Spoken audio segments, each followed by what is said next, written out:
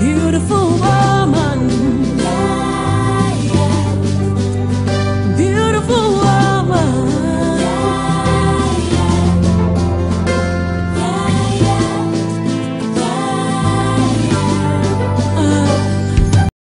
Hi, folks. My name is Nana Odame-Okyere, a student of the Kwame Nkrumah University of Science and Technology. I am in the race for the crown for this year's Ghana's most beautiful pageant. I represent the Eastern region. Guys, let's do this.